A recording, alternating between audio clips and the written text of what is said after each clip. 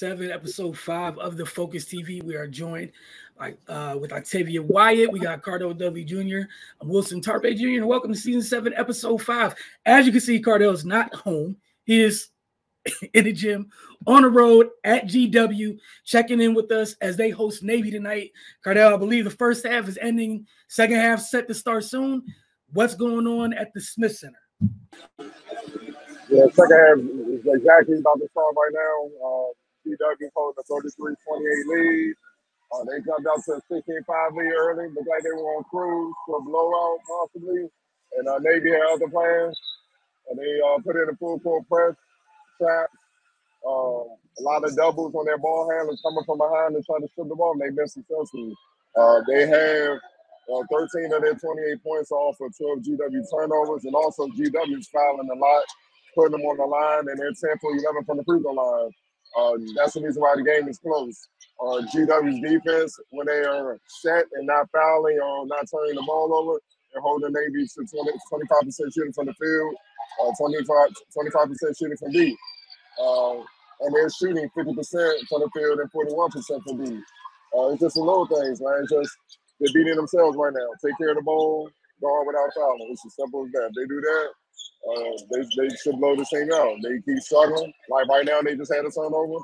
As a uh, it's gonna be a dog fight, you know, and, and that's what happens when you do so man. Uh, you know, Garrett Johnson's having a good first half. You know, he uh very short freshman, of course. You know, finished, yeah, he got game high 10 points, four rebounds, two assists, and two steals. Um, you know, Bishop doing what he does, eight points, two or four from deep. Um, you know, it's you, you, get, you know got to kind of take care of the ball better. You know, there's no other way to put it. He has four turnovers right now. Um, he's one of the main reasons, and you know he's a, he's a, he's the leader of the team, so he he knows he knows he can't do that. But uh, another bright spot defensively. Uh, Akingbola, six blocks already, six blocks. He had four blocks in the first half, and in the first minute, minute 28 of the game, he has three blocks. So he, he's he's on he's on this Mutombo right now, literally, man. So he has seven blocks total for the game. He might finish with ten. Uh, I don't know what the record is, but I'm pretty sure he's threatening it right now, man. He he's holding it down in the paint, man. But that's what they brought him here for to be a defensive maker inside. You know what I mean? So you're gonna see how it goes. Uh, but like I said, they clean those little things up. Don't stop turning the ball over. Keep them off the free throw line they get what they want offensively. It shouldn't take long for them to build this lead and uh, cruise to a win. And that's that's a big thing. Uh, I know you've talked you've talked to us about how good of a start they've gotten off to. Uh, the last thing you want to do when you're at home against a team that's surviving off turnovers is to keep turning the ball over. Some sometimes one plus one equals two. Every once in a while, it's that simple. But give Navy credit. Some some of the turnovers have been just careless passes, trying to pass over double teams or bigger bigger players or whatnot, and they get a hand on the ball and it's deflected. Uh, but some of it's just Navy being crafty.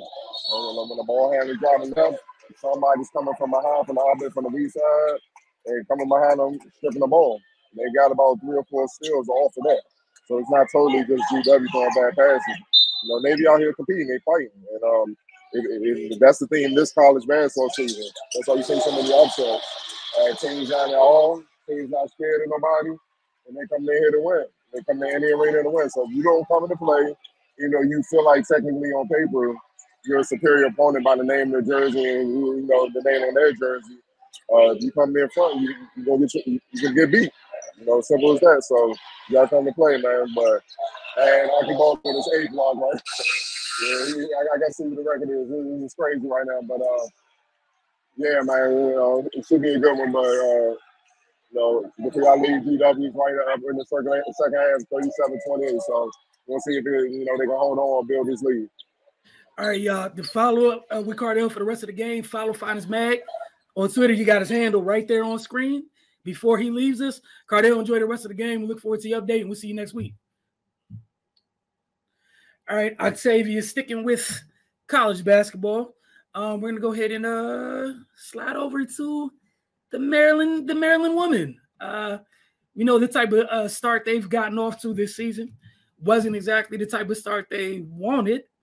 Um, but you know, we're here now. It is what it is, right? Uh, they had two games last week. They beat visiting Niagara 140, uh, 114 to 44. Sorry, I almost said 144. Brinae Alexander went off. Um, she is the resident sniper for this year's team. There's always one. Last year it was Abby Meyers and Brinae. This year is Brinae and whoever else can hit a three. But she is the resident sharpshooter. Uh, she had 29 points, um, knocked down seven and nine threes. She only missed two shots, period those two threes. She shot 11 to 13 on the evening. She also had seven rebounds. Maryland also had four other players in double figures in that one. Um, they had a few stretches of really good defense against Niagara, holding them to just 27% shooting from the floor.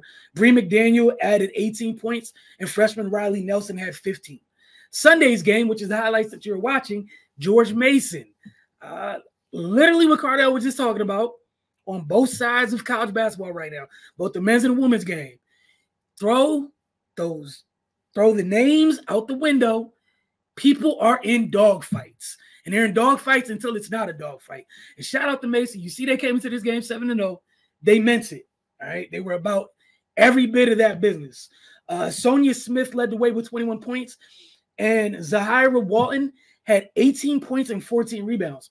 Maryland did get a very big game out of Shyanne Sellers, uh, who finished with 28 points, 13 rebounds, a double double for herself, along with five assists and two steals. One of the things in uh, this game for Maryland, unfortunately, um, they saw Bri McDaniel got uh, she got banged up a little bit, um, and then Going into those two games, they ended up losing Emma Chardon for the season. Very tough news for Emma Chardon. Uh, another ACL injury, so wishing both of them speedy recovery. I believe. Well, obviously Emma's out for the year. Bri McDaniel, it is day to day. That said, they got big, uh, big performance from Miss Faith uh, Faith Masonis, uh, 15 points. Brinae Alexander had 12.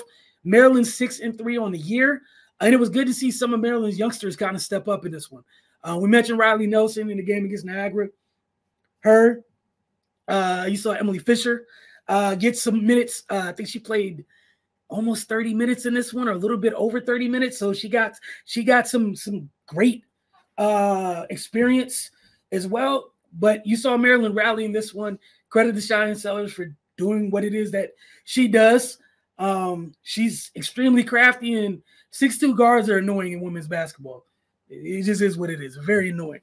Um, but the challenges I said last week for Maryland, is just continuing to grow in this iteration of the team. Um, they're gonna have to do what they normally do: defend, rebound, and run. It's it's that simple. That's what they're gonna have to rely on, and it's everyone having to defend. It sucks that they've already lost. Emma Chardon for the year. Um, so those youngsters, here's Emily Fisher right here. Uh, those youngsters, you got to step up. It, it, there's nothing else to say. You just got to st- step up. Uh, Allie Kubek's been great since she's been back, giving Maryland interior presence. Um, but it was good character to see them fight back. And again, some of that's just been growing and brewing from those tough road losses they've had. Uh, was it literally last week we were talking about college basketball? Well, how tough it is. Teams are going to go through it. Uh, I think people making a big deal about UConn. You know, I think they're out of the top 10 or something for Right, it's happening. Okay, it is what it is. It, you're here right now. If you're not South Carolina routinely getting what you need and holding a standard of excellence consistently, bro, people are going through it out here. If you're not taking care of business, you're in trouble. There's transfers. You got you still got some. This is kind of we're close to kind of like the end of the COVID, the extra COVID years or whatnot. But like it's the end of that. You got teams with a bunch of transfers. Maryland got a bunch of uh vets it's going to take time for some groups. But again, I'm still a proud proponent of what Brenda's doing.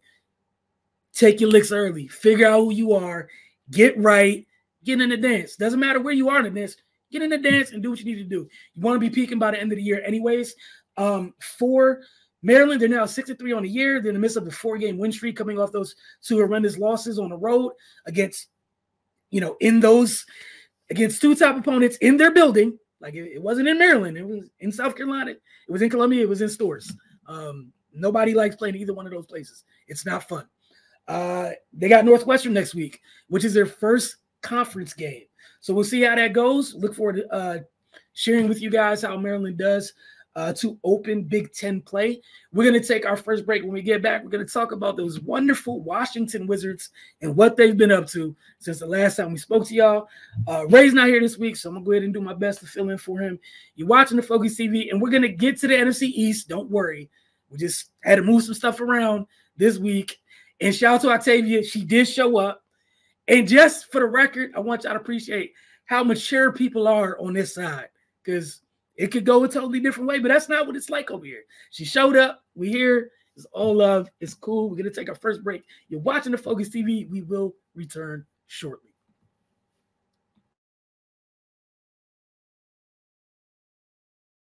Welcome back to the Focus TV. As promised, going to talk about the Washington Wizards and what they've been up to since the last time we spoke to you all. Look, man, uh, they are still going through it. Um, they came off that win against the Detroit Pistons, which which is good. It, it, a win is a win. Give people credit for doing what they should do. Um, we do believe in that. You guys know how we are. We're very simple here. It's kind of old fashioned and old school, but you do good, we talk right. You do bad, we're going to tell you about it too. Um, this is the second of the two games they played against Orlando last week. Uh, Orlando, we told y'all last year Orlando's going to be good. We told y'all nobody want to hear us. If you listen, shout out, then you're not surprised about this. Going into the first of the two matchups last week, Orlando was on a seven game win streak. Then they won the eighth one, uh, their first matchup with Washington. Uh, and that one, Paolo Banchero didn't do too much, but Franz Wagner showed the heck out, and so did Cole Anthony on their on their way to a big win. Uh, Orlando shot the ball incredibly well, shot 60 from the floor, 60 plus from three. They shot bad from the free throw line. That was about it. Everything else went in their favor. In the second game, which is what you're watching now, much closer game um a slower outing in terms of the pace, in terms of how well they not the pace, but how well they shot from deep uh in this one. Washington definitely better. However, you didn't have Paolo Banchero doing what it is that he does in that first game. It was just Franz and company. This time, Paolo joined the party. He finished with 28 points and 13 rebounds. Franz had an, had another 31. Kuz had 27 on 10 and 18 shooting, uh, which is which is a good night offensively. However, you know, sometimes it's as simple as matchups. The duo of Wagner, or um, I'm sorry, Wagner and Banchero outperformed the duo of Kuzma and Avdija. That's it. Like they outscored them by 20 plus. Um, those two went nuts. Um, the other two typically, like they uh didn't have a great night. Kuz was solid, but Kuz essentially gave up what he had. So that's a net zero. And Deni struggled, and Franz went nuts. Um, both teams got good contributions from their bench, but Orlando, you just saw a team. There's a reason they had won eight in a row. If yes, they're young, but you don't go on a seven game win streak just because you're doing things right late in games. And late in this game, Orlando executed a little bit better. Washington had a double digit lead in this one. Orlando walked it down. Um, they went back and forth, but again, for Washington, it was another one of those games where they couldn't get stops in the fourth quarter. And against good teams, that's going to put you in bad places. Look, 724 left, man. It's a one point game. A lot of things going right. You're in a good place. Um, just not being able to get stops. Washington did do a good job. They threw a zone at Orlando that had them kind of messed up for a while, but Washington didn't take advantage of that stretch. Then Orlando, you know, just being young, they started to understand like, hey, yeah, it's a zone. You know, you get to the middle and shoot, but their their guys that are getting to the middle are what Franz is like 6'10, Paolo 6'11. So they're just taking mid-range, comfortable mid-range jump shots. Um, and Jalen Suggs did a great job. But look at Franz, 6'10 guy, comfortable, little guy running out at him. He doesn't see him at all. He just unbothered. But get right to the little spot. I'm gonna take take this midi right here, no issue. That's Washington center in space against Paolo. And that's Gaff didn't do anything wrong. That's just a tough cover. Um, and Orlando's bench. Uh, you just saw the difference between these two teams. It's Orlando knows who they are. They have defined roles, and they're a step ahead of the Washington instead of in terms of where they're going. They also know who their guy is for sure. It's Paolo. Franz is right there, and then you you got Cole, Jalen, and company. They're coming off the bench. They're asked to do a little bit more right now because Markelle's out, Wendell Carter's out, Jonathan Isaac just went back out. He's he's never fully there because of injuries, unfortunately. But they're down two starters. Um, So they they won a franchise record nine straight games after you know coming out the other side against Washington. Um, Washington's had several days to kind of just recollect, uh, to kind of collect themselves a little bit. Um, they have fallen to three and 16. They have two games this week. The first is Wednesday at home against the 76ers, and Philly's one of the better teams in the East so far. Uh, you know, to this point in the season, they have not disappointed. Uh, they kind of got better after that trade, and I'm just going to leave that at that. I'm not going no specifics. We're going to be mature here, but um, addition by subtraction, uh, subtraction. It looks like Kelly Oubre is coming back uh, into the fold, which is great to hear after what he went through. Um, you know, I think I said you had talked about a little bit already. You know, the hit and run situation uh, with him, um, and he was balling for them before he got hurt. So they've continued to play well. They're getting a quality player back into their rotation. Um, and then after that, you know, you get a day in between and you go up, go up north just a little bit, quick little day trip, going up to Barclays. You take on the Nets. Um, and the thing is for Washington, while the Nets aren't quite the Sixers, the Nets also have a better record than Washington. So it, yeah, you have two tough games coming up. You need to get a win. It's it's really that simple. We're going to see if they're able to do that. For those of you that follow our Wizards coverage, get over to, uh, to thefocustv.com and also follow us on social media so you guys don't miss any episode of Wizards Outlook. Uh, we're going to take our second break when we get back. Going to jump into this NFC East, get to a little bit of rapid fire. You do not have to look that sad about it. Like, look, before we even get the break, what we're not going to do is act like 10 and 2 is some horrible thing. I do not subscribe to this. And we will talk at length about that game when you get to it. But some of the disingenuous things that have been spewed after that game by folks that aren't that have nothing to do with either team is crazy. Like there's been a whole lot of talking by folks that aren't San Fran and aren't Philly and are acting like whatever happened between those two has anything to do with the rest of you. Like, that's their issue. Some of y'all are doing a little too much, and I'm gonna sit here peacefully. And I can't wait to see what happens to y'all because some of y'all are doing way too much. Everything's not the same. Um, but I look forward to this NFC, this week's NFC East segment. You're watching the Focus TV. We will return in just a few seconds.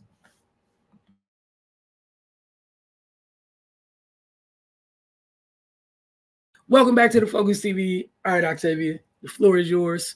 Where do you want to start in this week's NFC East update? Oh, the time has come. and I would like to point out that even my internet does not want me here because it is spotty. Um, but I have graciously come when everything in my body told me not to. But I'm here. Um, I'll save that game for last just so we can have, like you said, an in depth conversation. I really wanted to just get it over with because it's that bad. But this is actually the game I wanted to start with anyway. Uh, the Washington Commanders played against the Miami Dolphins and lost. I mean, it's crazy to get scored. To I mean, great to we got a lot of points scored on us this week as well. But I mean, 45 points two straight weeks on your defense is just just not good. Um, they lost to the Miami Dolphins 45 to 15. Sam Howell was 12 of 23, 127 yards, one interception, four carries for 21 yards, and two touchdowns. He was sacked three times. Brian Robinson Jr. had seven carries for 53 yards, and Curtis Samuels had four receptions for 65 yards. Um, I mean, I think the glaring thing coming out of this game was their defense was just horrible. I mean, granted, don't get me wrong, Miami's offense is very high powered, one of the best in the league. But it's like the commanders forgot that Tyreek Hill played for the Miami Dolphins. I mean, I think Tyreek even said he was surprised as how open he was. Um, but you know, I do think the times when the commanders defense has played well, it's always been up front. Their secondary has always kind of been suspicious, and it don't get no easier when you're playing against arguably the fastest man in the league. And I mean, shout outs to Ron Rivera, who took over the defensive calls this week. Again, disinterested. Um, it was just, it was, it was just bad. Um, Miami scored 24 points and registered 247 yards of offense in the first half. Um, I mean, just the first half, it was it was bad. At one point, I thought it was going to be a 70 to 20 game again because they definitely could have scored 30 extra points in the second half after they already had 30 in the first half. Um, yeah, it's it's just bad. You know, I, at this point with four games left, uh, although they'll be on a bye this week, um, it's I would probably start shutting down my better players at this point because it's really no point. Um, if you want to give somebody some kudos, Curtis Samuel has been coming on as of late. Um, he caught four passes for 65 yards, including a 33 yarder on a wheel route, um, in which he basically kind of fooled the linebacker with the double move. Um, so definitely give him some kudos because he's been kind of coming on, especially with the absence of Jahan Dotson and as well as, and probably more so, Terry McLaurin. Um, Terry McLaurin is definitely going through it. You know, he's definitely one of the better wide receivers in the league. He just has not had the opportunity to play with a top tier quarterback ever. Um, so the things he's done in the past with the quarterbacks play that he's been given has been amazing, but this just this year he has not been able to do so. Terry McLaurin doesn't have a hundred yard game receiving at all this season and is in danger of not going over a thousand yard receiving for the year, which is unheard of for him. Um, again, just the type of caliber wide receiver that he is. Um, Sam Howell has played well-ish throughout the season, but these last couple of games have not been anything to write home about. Um, it's it's it's a little on him. It's still a little on the offensive line not being able to pass protect. Um, and then it's a little on the wide receivers. You haven't seen much separation for Terry McLaurin as well as Jahan Dotson. Um, and we know a couple of games ago, Terry McLaurin, you know, had some pivotal drops in the game as well. Um, but to not register a catch is just crazy to me. Um, especially with the likes of Eric Bieniemy over there. Um, but I know a lot of people are trying to throw a lot of shade his way, saying he needs to scheme a little bit better for them, but it's not just on him. It, I mean, he can make the scheme, and maybe he does need to, you know, beef it up a little bit. But it's always players over plays. The players should be going out there and making it happen, especially again a, a player of Terry McLaurin's caliber. Um, it's just been bad. Um, the only other good thing to come out of this, the Commanders are now number four in the draft order. Um, so I mean they're in the sweepstakes uh for and, I mean who knows what's gonna happen. It could certainly get higher um with them only having three games left since they're on a bye this week. Um definitely get higher. And if they get high enough, baby, and they get one of them quarterbacks, whew, I'm gonna feel bad for them. I'm gonna feel bad for the quarterback, but I'm sure the Washington Commanders franchise will be ecstatic. Um, I don't know the last time we've seen a good quarterback in Washington, so I'm a little scared for anybody that goes there that has top, you know, playmaking abilities, because I'm a little concerned about who's going to be running the show as well. Um, so definitely interested to see what happens. Again, they are on a bye this week. Next week, December 17th, they will play against the Los Angeles Rams, who also is not an easy out. and we, we know maybe they haven't been playing their best ball that we've seen in the last couple of years, but uh, whatever they're doing is definitely better than what's going on in Washington.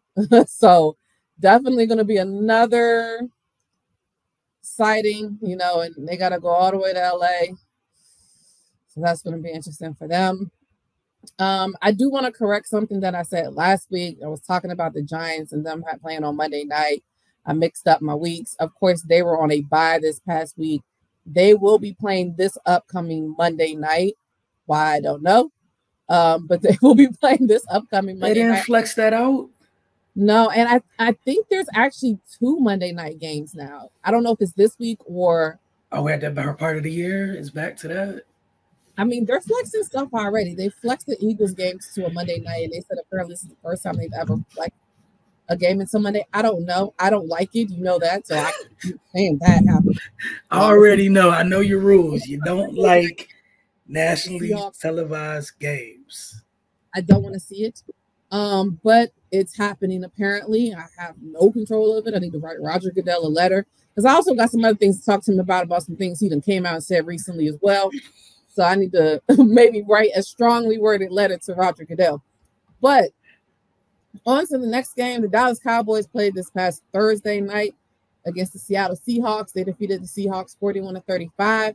Dak Prescott was 29 of 41, 299 yards, three touchdowns, and seven carries for 23 yards. He was sacked four times.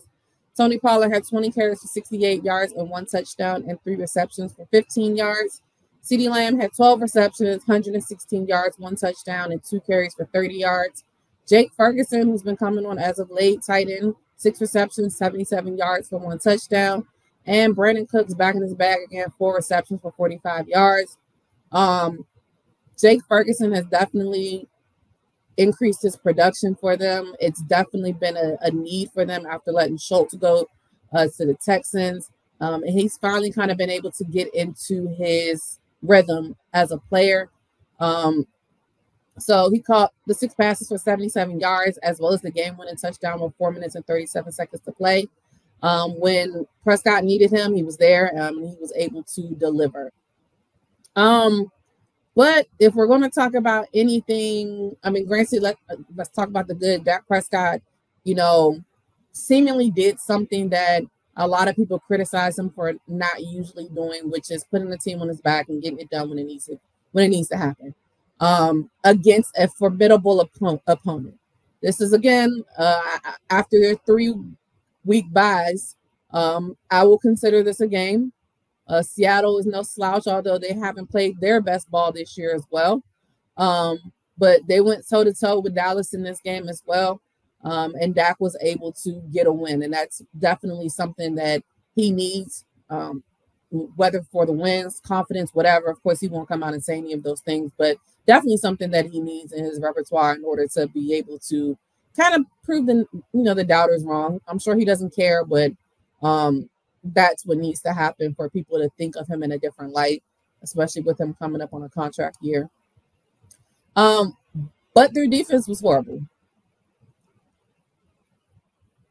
It, it, was. It was. It was bad. And I say horrible, and I, and I say that lightly just because their defense is amazing. They've played very well all year. Dan Quinn has had them guys hitting all year. I mean, people were screaming for DaRon Bland to be defensive player of the year with the six picks, um, six uh pick sixes.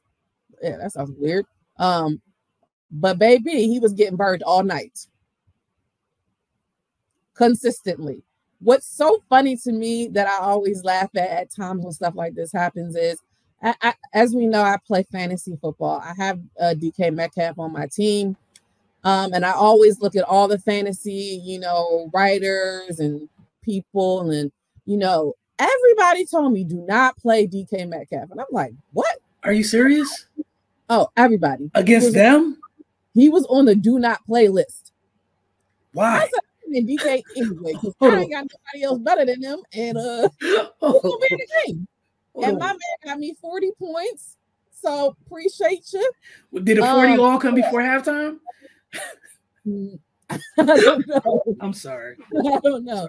But yeah, but as bad as their defense was, um excuse me, their, their third down defense was particularly bad. The Cowboys allowed the Seahawks to convert 9 of 14 third down attempts, the most this season. That's after allowing seven third down conversions on Thanksgiving against Washington. They also did not register a sack against Geno Smith. If there's a bright spot, Seattle went 0 for 3 on fourth down. So it kind of seemed like they didn't have their head in the game on third down, but the fourth down rolled around and Seattle, and Seattle decided to take that chance. They buckled in and they got it done, which is what happened at the end of the game as well. Again, I don't know whose idea was it to not block Micah Parsons, but um, that didn't go well. at all. That was the thing. That. that was the thing that was so weird to me. I heard the explanation for it, right? And when I heard the explanation, I wish I hadn't heard the explanation. It did make I'm sitting here like of sense. I don't care what the reason is. You block Michael Parsons on DK, fourth, on DK, whatever it was for the game. Oh, nah, DK man. is having a great day you could go max protect and throw at whoever's guarding DK. But to just be like, well, we thought so and so could get free before. What? Yeah. You want to know. fate like that? I don't know who was in charge of the scouting report that week, but they failed. They should be on suspension. Apparently. they didn't even try to trip them. They just let him I'm run straight. not gonna say they should lose their job, but they should be on suspension. Um, and again, uh, the defense, you know, was pretty horrible for most of the game, but they, you know, they made the play that they needed to make when they needed it. Um, and then one other little thing, these penalties are starting to creep back in for Dallas again. Uh, Dallas had nine penalties for 127 yards. Um, on two separate drives, the Cowboys defensive penalties set up easy Seahawk touchdowns. So had those penalties been cleaned up, I think Stephon Gilmore got one in the um in the end zone. Uh, there was a, a few others. They just all always come in opportune times as well.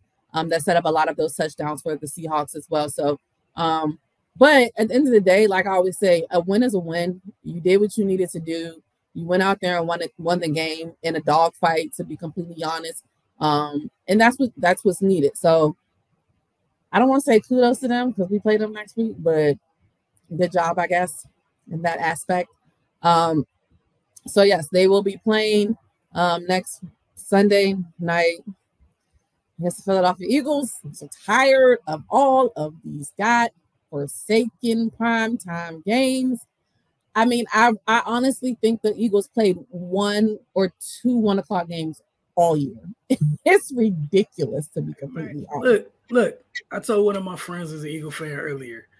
Welcome to being a consistently good team. This is what you get. There, look, there's no quiet Sundays because if if you have one of the games that aren't nationally nationally televised, if you're struggling, they'll cut off another game to show you struggle. Just welcome, okay? It's so crazy. Just- so Welcome Well, we- to it. Be happy. It means your team is consistently good. It, it comes with the territory.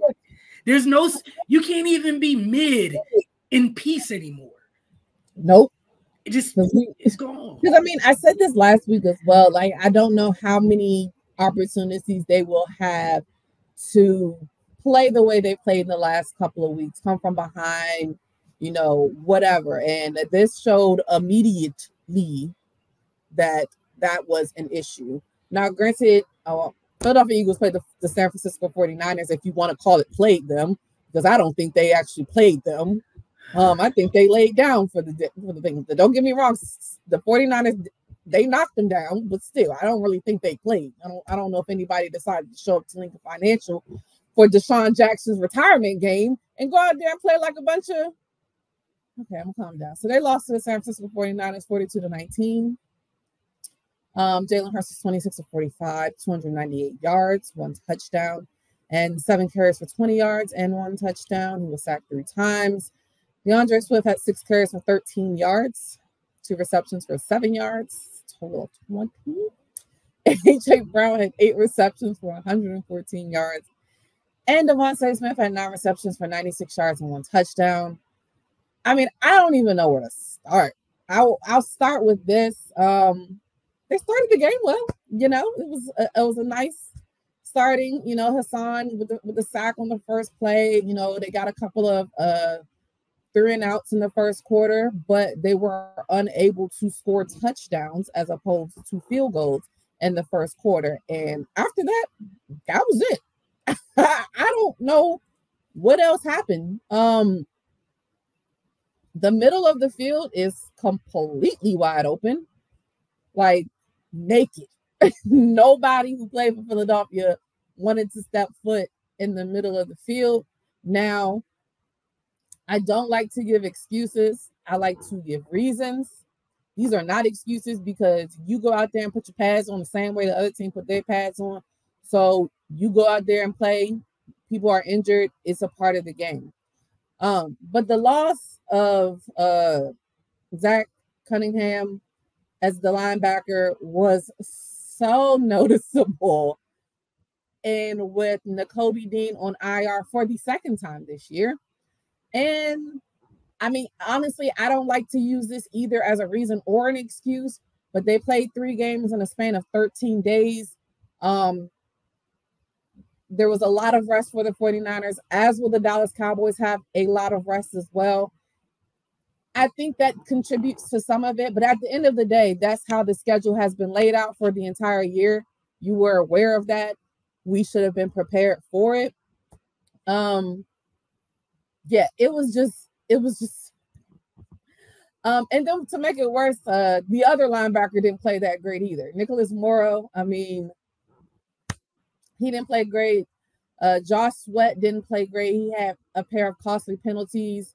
Um, I mean, Nicholas Moore got burnt, as you can see in this picture, by Christian McCaffrey for a 33 yard reception to set up a third quarter uh, score for the 49ers.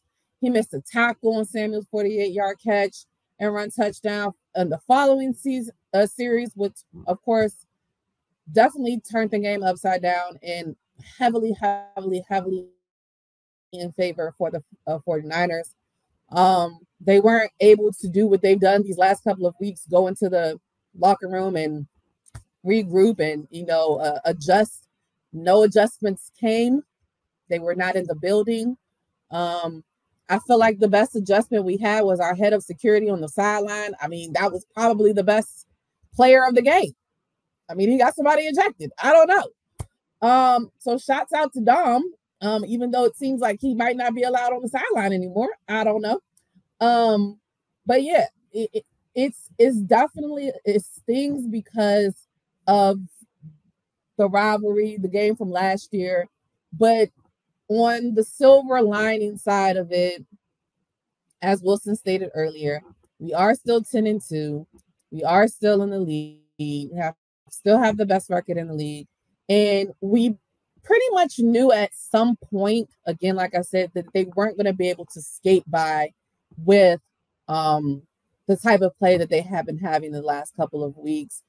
And it was kind of unthinkable that they would get through the gauntlet part of their season unscathed and not lose to Kansas City, Buffalo, 49ers, the Cowboys. And I mean, just to see the way that they played against the, the Cowboys, the Seahawks as well.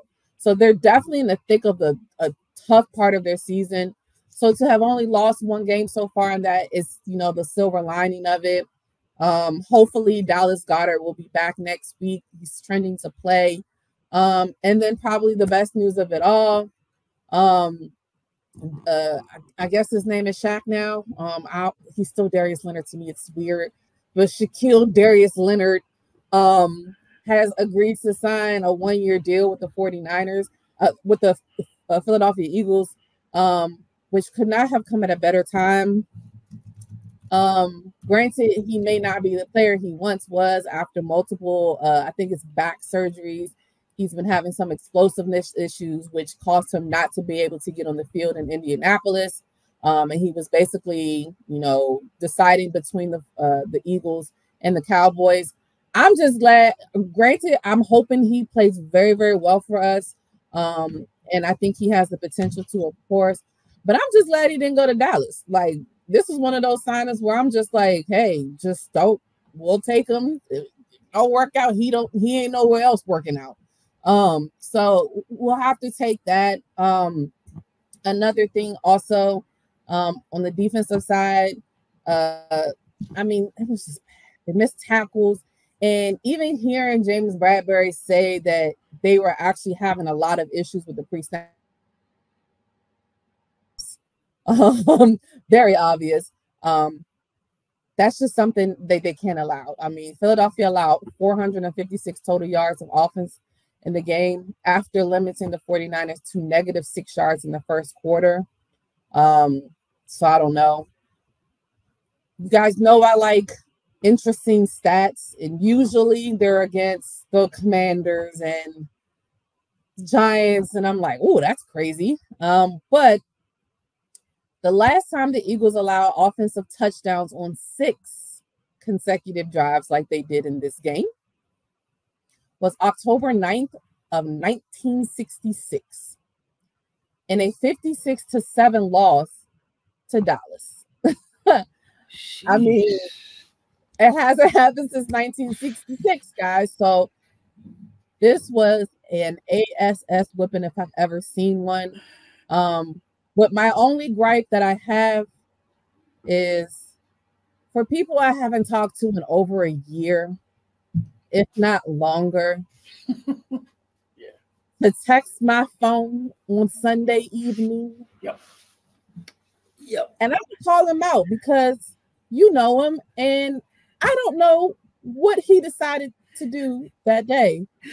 Um, Matt Samuels, uh, sir, I have not seen or talked to you in at least a year, if not longer. The fact that you had the audacity to text me when y'all beat us, we are forever beefing. So I just want him to know that he knows that because I definitely let him know. I had Commanders fans texting me.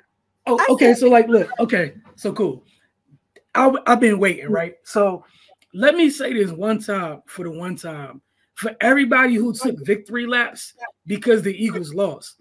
Your team didn't do it. Your team can't do that to them. There's no, there's no trans uh transitive property. Y'all didn't win. San Fran won. That's between San Fran and the Eagles. The problems that presented the Eagles, none of your teams can present those same issues. Right. So stop it. Like I'm gonna be completely honest. They're 10 and 2 for a good reason. We saw Buffalo, who's supposed to be a good team, with an all-world quarterback, have 500 yards and get an L. That dis- the discussion in that game should have been, how'd you lose, sir? Y'all had 500 yards. I was talking to one of my, my guys earlier, my guy Smooth. He's a Philly fan. Like I was saying to him again, congrats to being a good team. You know what this is? Y'all just went to a Super Bowl. You lost players, you lose coaches. This is y'all's down year. You're 10 and 2. Y'all will be back to who you are next year. And you know what's going to happen because of this? And y'all probably don't appreciate right now. You know how he doesn't care about linebackers? He's going to go get linebackers because of this year. Oh, absolutely. Because, and again, I'm sure because we let a lot of them go last year. Not only that, I think y'all are going to go try to find ones in the mold that we have, not just some guys, but the types that you need. And I'm not saying it's Fred and Dre's and stuff growing on trees, but I wouldn't be surprised. Y'all love calling up the Titans to come take good players, right? We had a linebacker that played in San Fran who's not there because good teams have to make decisions. You can't pay everybody. My guy Azeez Al-Shaair is in Tennessee balling out. We don't know what Tennessee's doing. They, they're in the midst of a dumpster fire. I guarantee you, Howie about to pick up that phone, send Kevin Byard back to Tennessee, and Azeez going to head over here in the off season. Like, let's like again, and this is why I wasn't. You did you hear me say anything to you about this? I didn't, No. and and the reason why I didn't, because yeah, I'm a fan, but the two teams that played each other last year don't exist anymore. Okay, like they don't exist anymore. Last year was, and I know this because my team's been kind of good with NFC Championship game. You lose players, you lose coaches. I know what that crap's like. Y'all are going through this for the very first time. It sucks. All right, mm-hmm. it sucks. I know what it looks like. It's garbage. That's why I didn't say anything. I thought it was tremendous that y'all been able to hang around how y'all been able to hang around because I know y'all not the same team. There are holes, they need to be fixed. People need to leave. Young blood needs to come in. I know that because I know what it looks like. My team has tried that. Sometimes my team fails at it. Matter of fact, they cut a dude they drafted in the third round. Um, TDP got cut today. He ain't do nothing. We took him to the third round. People laugh all the time. But you know what happens with good teams? You swing, you miss, you adjust, and you fix. That's it. I love TDP to death. I would have loved to see what he could become. You know what the Niners did? They was like, oh, Carolina tripping. Here's all the picks. Give me Christian McCaffrey, and I don't care that we missed on the third round pick. Howie doesn't ever rest on his laurels. Y'all will be whatever y'all are lacking right now. Y'all will go get those things because we're gonna have to deal with each other for the years to come. And that's all it's that's what it's gonna be. I'm not being funny. I'm telling the honest God truth. Like this year, right now, it sucks for y'all because the thing that y'all are weak at is our coach's bag. It's his bag. He puts good linebackers in hell. I don't know if people saw a couple weeks ago play Tampa Bay. Bro, Devin White and Lavonte David are amazing together. Do y'all know what Kyle put them through? They was questioning everything they saw. That's and they're two aliens. So no disrespect to whoever Philly, this version Shaq Leonard, whatever, whatever you want to. But they put they put some of the best linebackers in football in hell.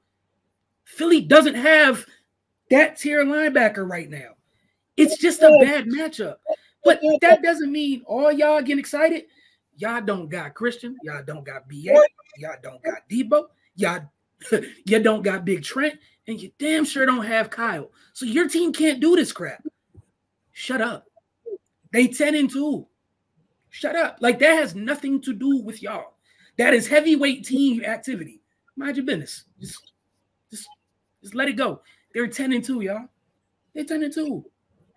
They lost two freaking games. I needed like, like just just put it in perspective. Conversation. Nah, it, I wanted to have it because I've seen people go crazy. I'm like, oh, look at what they did. I'm like, whoa, hold on, hold on, hold on, bro. And then to make matters worse for y'all, y'all are catching us after we had the dude who literally stopped this offense from being this for four years. We had an active saboteur under center for four years. So again, the league's just like there's a there's a stat right now, and this is why this is stupid. Because people talk about, man, look what the Niners did, bro. So far since C-Mac's been there and all the weapons are healthy, they're 16 and 0. That means not just the Eagles have had an issue. That means when they are healthy and they start, and them them get them dudes start a game and finish the game together, never lost. That's not an Eagles problem. That's an NFL problem. The NFL has not found an issue for that group. Like right now, their biggest issue is health because they have the three game slide. He's missing Trent. He's missing Debo. I'm not gonna lie, the Browns Browns a tough team. Those are Debo games. Four games a year. Kyle got to spam the button. Eagles were a Debo game. That's when you lay down on a button, you press it, you press it all the way through, and then you're going you're not gonna press the button for a couple more weeks. But that's because the Eagles are heavyweights. People talk about what happened to AJ and DeVonta. Bro, who else's defense can do what they just did? Like, why are y'all talking? Washington, like I saw Washington fans like, look at Chase not helping. Blah, blah. Bro, Chase is one of the reasons they were able to execute the game plan. They didn't tell you watch the game. Did it look like the Niners pass rushers were told to go get Jalen, or were they told to keep that boy in like behind the line of scrimmage? They were told that was the most disciplined, boring rush game in the world. And you know why they can do it? Because they got two of the best linebackers in football, and one of the two ain't number two. And nobody can, you can't, can, who can copy what Fred does? Like, get out of here, y'all. You can't hold that against. And this week, they're going to go play whatever the hell Dallas got in the middle of their defense. Like, come on, man. We just saw DK go nuts against Bland. What y'all, what y'all think AJ and about to do after they're free? None of the crap they just saw this week, they about to see next week. It's a whole bunch of man. There's dudes that don't want to hit. Like you played a team. Like how many teams in the league got got secondary people who want to hit? Like I saw people get mad at the Philly, bro. We're in a soft part of the NFL. People don't hit like that. So then y'all play one of the only teams where you got psychos, psychos in the secondary, and psychos that block at wide receiver, and people people talking. Is that replicable across the league? Matter of fact, didn't y'all put uh didn't y'all put Miami in a box? What's us and Miami run the same scheme. You know what the difference is? Somebody's physical, somebody ain't. It's not the, styles make fights. Tyreek is fast and everybody on our team. But you tell me what y'all think easy to catch, uh, the tackle, Tyreek or deep or Tyshawn. What y'all think's easier? You got people who come look like they're looking to hit you on offense. But people don't like dealing with that. And then like y'all whole division, y'all all play each other. Everyone got the same issue in the middle of the field. Yeah. Y'all only y'all only get like y'all only deal with that like what the years that you play the NFC West and the years you play wherever the Ravens are. Outside of that, y'all all take turns beating on each other with the same issues. Nobody has good linebackers in the NFC East. So I don't understand how anybody in that division, a fan of anybody, is talking about anybody else middle of the field. Washington, we're gonna see y'all in a couple weeks. Why are y'all talking? Why y'all oh, talking? Oh, I didn't know y'all played them. Jesus Christ. But play it makes sense. Everybody plays the same division. But, but right. I'm but I'm but I'm just saying, like, it's crazy to say pe- like to see people say stuff like if if everyone could do what that team just did to Philly, they would have 10 wins. yeah, that's true. I will 10 say, I will say that I give at least the Cowboys fans that I know credit because none of them hit my phone because I think they knew better. But but but that's the other thing. How could you say anything? The same thing happened, and they were less competitive. What what, what yeah. can you say? Yeah, so that's why I was like, I'm glad none of them decided to step out. But it was the fact I'm like, but didn't y'all just lose to the Dolphins 45 to 15? Like, shouldn't you be worried about that? But and that's the thing I don't get. They lost to the track version of it, bro. Y'all want to go deal with the, the fighting version of it? like, then you got the Rams who are in the middle.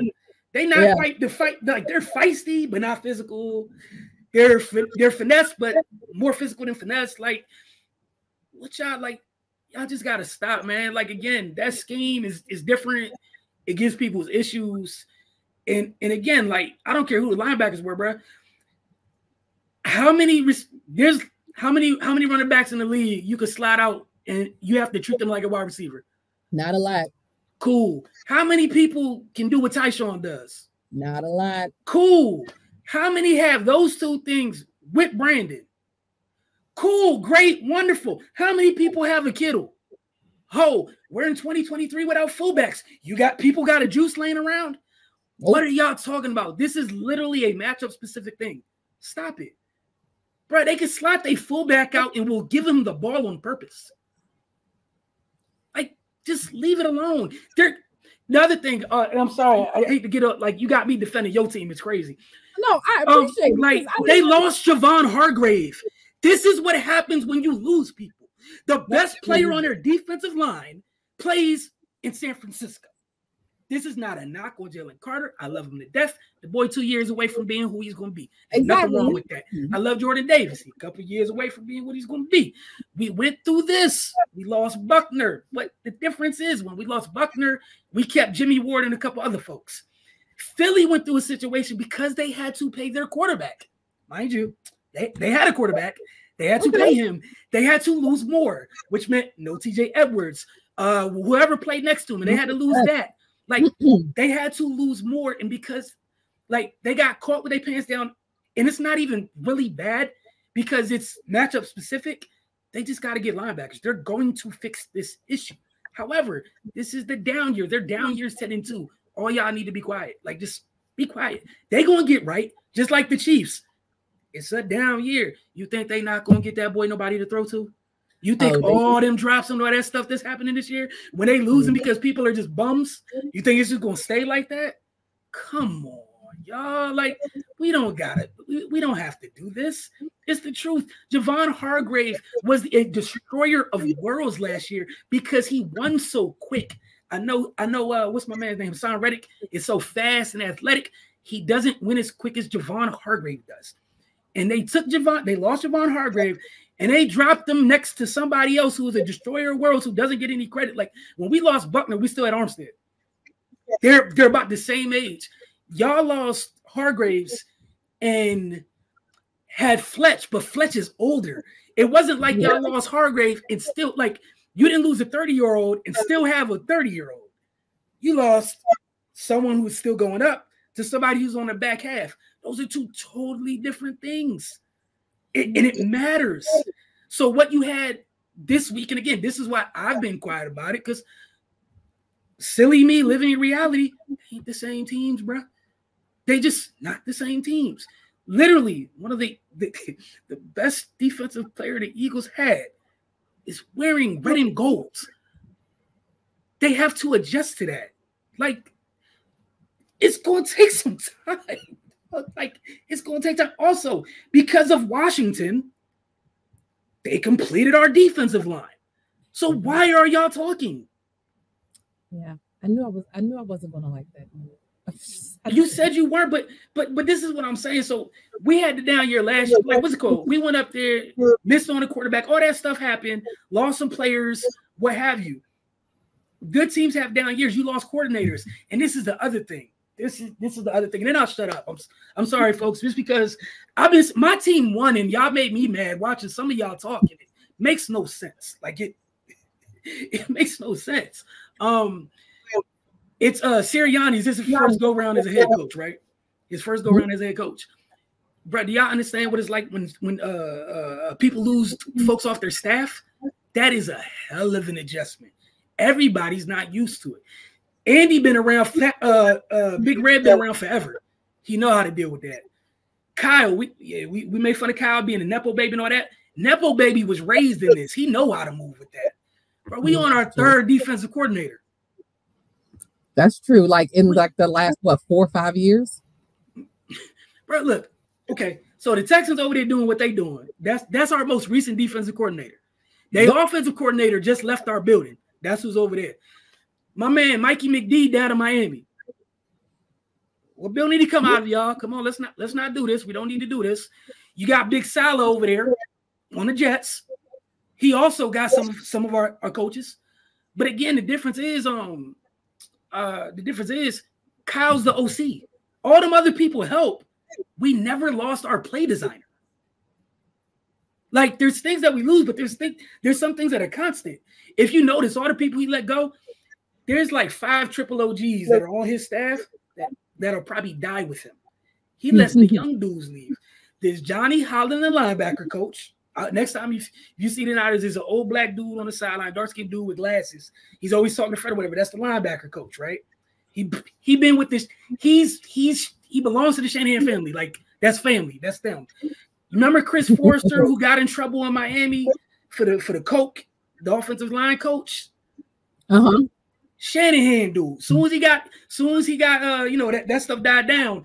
That's the that's the offensive line coach in San Fran. But a lot of the time, what happened was people were giving Mike McDaniel's credit for the run game. It's Chris Foerster. Chris Foerster didn't leave the building. Our defensive coordinators changed. You know who hasn't changed? Chris Kocurek, a descendant of Jim Washburn, who is our defensive line coach. But that's someone who's been through it, who knows how to maneuver this. Bro, when it's your first time going through this, where everybody's new, even if the scheme's technically the same, it's it's a different voice, it's a different way to look at it. There's an adjustment period. Yeah. People don't get matter of fact, and I'm gonna say this to, to 40 whiner fans, because y'all y'all do this every time there's a new coordinator. You whine, you beat, you com- you complain about everything. Every single time someone someone is being asked to execute a scheme that they didn't come up with, and they have to get used to how to how to run it. And one of the things that makes a difference is you get all these pieces, and I think sometimes people get enamored with what they have. That sometimes simple is better. And right now, you got Desai and Brian Johnson trying to figure out what's what over there, right? Trying to figure out what to do. But for Desai, he doesn't have Javon Hargrave. He don't have TJ Edwards. And not to be rude, don't I think they it's more of a Seattle type thing. The corners they got ain't what he needs to do what he wants to do. But nobody wants to have that conversation because y'all too childish and like yelling.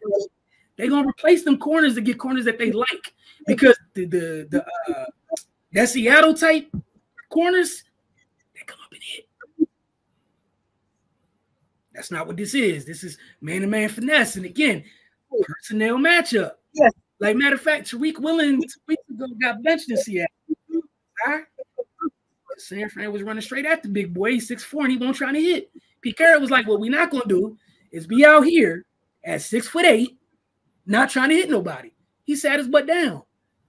So again, if Desai coming out of that tree, do you think Darius Slay and James Bradberry are the type of corners that Sean Desai believes in? The boy can't even run his scheme fully.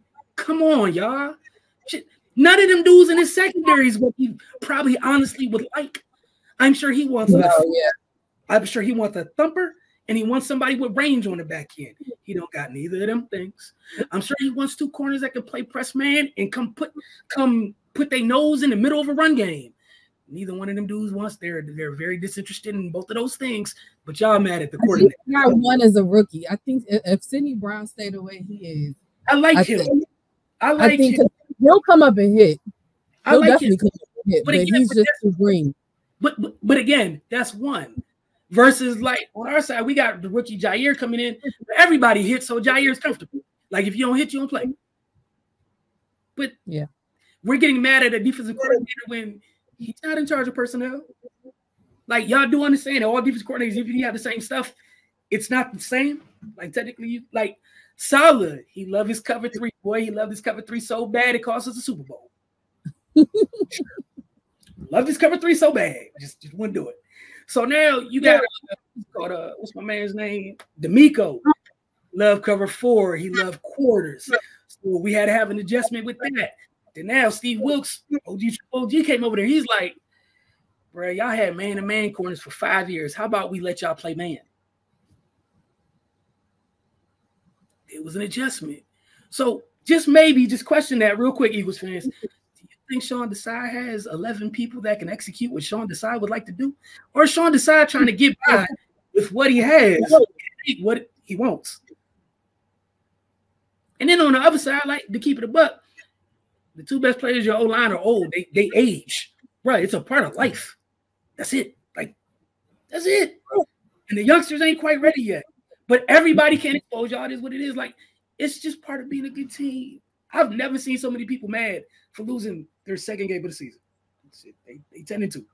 It's, gonna be okay. You don't have to play this. so much better. I feel like this was a therapy session that I needed. I got you, but it, it's just crazy watching all the crazy stuff people were saying because it doesn't make any sense. Well, see, the thing about that is I haven't watched anything. I ain't been on the internet. Oh, no, you, I you know what? Yeah, You I like, great. I don't. Okay, so perfect, perfect example, right? Y'all are trying to, y'all are adjusting to things that you lost. Bruh, Okay, so this is the first time in Kyle life he got the type of running back that he wanted. Think about that. How long that boy been coaching? Has he ever had anything like Christian? Absolutely not. So how could you how could you in your right mind understand that folk that Carolina just gave this crazy creative person his infinity gauntlet of running backs? He been waiting for he been waiting for this his entire life. He's tried to do it through multiple people. Everybody can't do it. That's why the dude don't come off the field. I, That's was why I don't even know who y'all backup is, to be honest. uh, Eli Mitchell, and even then, Eli stay hurt sometimes. But even then, like the worst. Okay, so before they traded for Christian, Eli Mitchell almost ran for a thousand yards his rookie year. However, this offense ain't this. Christian's so good, he had Jimmy looking good. Like this, this was one of the top players in the league that got traded to somebody who sorely, to somebody who kept trying to patchwork a position, and y'all gave him that. That's the issue. Be mad at that. That, that ain't got nothing to do with Philly. That that that uh that gravity when they move people around and you gotta honor all the moments, the movements. That's not a Philly specific issue, Bruh, If they put Debo in motion, you don't follow. What you think gonna happen? They just gonna give him the ball. If you slide Christian out and it's not a safety foul, them it's a linebacker. They just gonna throw him the ball. if George go emotionally, you don't go with him. They just gonna throw him the ball. So it's not an Eagle specific thing. Do y'all know the numbers that little weird geek is putting up right here this year? Brock going crazy because he's just doing simple things like, oh, I like that matchup, coach. Here. hey, look, he come up to the line, you look at the numbers, he go, ooh, you shouldn't be on him. And y'all trying to act like it's Eagle specific. Like this is something that's been brewing for years, and this this is this iteration of the Eagles first time going through something. Right, it's part of being a good team. It happens. You lose stuff, it happens. You can't like. It's not quite the same. I'm so sorry. It's not quite the same. It's it's not the same. Like you got somebody who knows what their scheme is, and keep keep adding to it, adding to it, adding to it, adding to it. Like matter of fact, the chase thing. And I'm gonna shut up in a little bit. The chase thing. They haven't had. They haven't had that yet. Shout out to Washington. They hadn't had that. They've never had a fourth person that you had to actually honor opposite Nicholas Bosa. It's been triple team Nick, double team Eric, and them other two, man, they get here if they get here. Then the Eagles had to pay Jalen, which you deserve to pay Jalen. You deserve to pay Jalen. And the Niners were like, we ain't got to pay Brock for two more years. Get 40 million to Javon Hargrave. Oh, we don't got to pay Chase nothing. One year rental. Come here, buddy. Like, how can you? those things are comparable.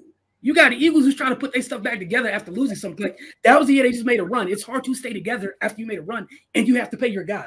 This is year one after paying your guy. This is what it normally looks like. They're 10 and 2. Y'all have to relax. They're going to be right next year. So get all your jokes in, get all that crap in.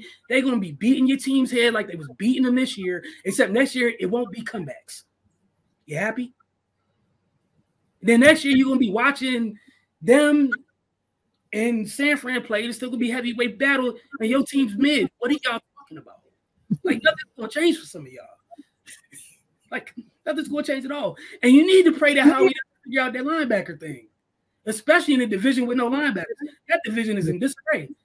First team to get a linebacker, man, it's like the arms race. Mr. Regular Lavonte David for a couple years and Devin White just and you know how we be finessing people like who knows what's going to happen. But like it's, it's just crazy. I was watching everybody, and I watched a bunch of it this week because I watched people go crazy when San Fran lost three in a row. It was like, oh my god, they're frost the rookie kicker missed the kick against Cleveland. People got hurt. Kirk Cousins went nuts, bro. Sometimes Kirk goes nuts. They ain't execute, they lost. Cool. It happens. The Eagles at 10 and 2. I've never seen people got smoked for a 10 and 2 team. And also, your team didn't do that to them. So what are y'all excited about? Yeah. Your team don't even have one of the things of the team that did that to them. Like, bro, they got like infinity stones of skill position players. Nobody else in the league got five of those things like that. Which I which I talk about. But we're gonna see y'all next week, man. We appreciate y'all. Uh, so I tell you, happy to help. You know, I just want to have that discussion because it, it was bothering me and my team won. I can actually watch. I think I can actually watch ESPN and, and, and stuff tomorrow. I'm happy to help. It was just I've never seen people be like, "Oh, Team X is frauds. Then they beat the team you don't like. So now they're the greatest thing in the world. And the team you don't like that lost, let me check my notes. Two games is trash. Huh? What we what we doing? Like I saw DK be put in the playpen two weeks ago, and then last week against the defensive player of the year, have career stats by halftime. Yeah. So maybe it's just me. Maybe I'm crazy. I don't know what I'm talking about. Maybe DK gets some get back this week. Who knows this week in the NFL? But I know that um I know Mooney doesn't get the pick sixes that Bland gets, but um I don't know AJ Brown in one-on-one jump ball situations, he he gonna come down with that against Little Bland. Mooney a different dude, but mm. y'all carry on. Because I swear to God, if he get a jump ball this week, he just go top shelf with somebody. I got jokes. Y'all better not like unfollow me because I got a bunch of jokes. And secondary stinks. And just because another team was physically able to do something to Philly, y'all ain't. What y'all doing? What y'all doing? Ain't no Fred in the middle of that field. Jalen finna be moving. Talk about some Jalen won't run it. Bro, where he was about to go. yeah. You want him to die? Very I, smart. He did not want to die. I tell you, you understand? Look, I was sitting there watching the game. I was mad when they put the man back in. I was like, what are y'all doing? Do you not care about him? Didn't you just pay him? And then when they took, then they took, they took some of my dudes out. I was like, thank you, Lord, they took them dudes out because I don't want nothing to happen to that boy because y'all are reckless. He should have sat down. You don't need to go back in. Whatever happened, happened. The little pointless stats at the end, Sirianni, you got to do better about that. Don't you just paid that man? You don't risk that man's health. It's not worth it.